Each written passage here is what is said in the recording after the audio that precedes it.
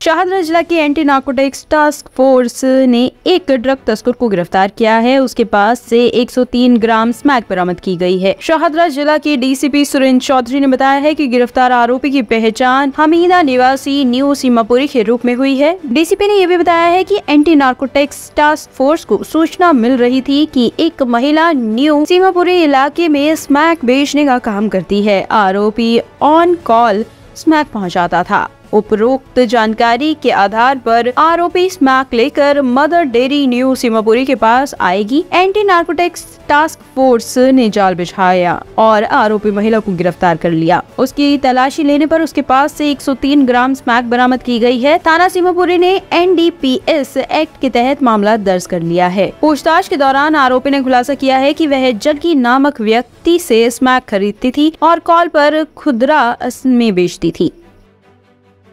Top story bureau के लिए दिल्ली से रवि डालमिया की रिपोर्ट।